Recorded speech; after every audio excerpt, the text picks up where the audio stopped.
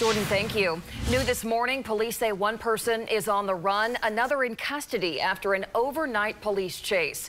Oklahoma City police telling News 9 they tried to pull over a suspected stolen car. The driver took off. They used stop sticks to flatten the car's uh, tires. Car eventually spinning out near Southwest 44th and Portland, causing two uh, police cars to have some minor damage. No word yet on whether other people in the back seat were detained. We're asking those questions right now.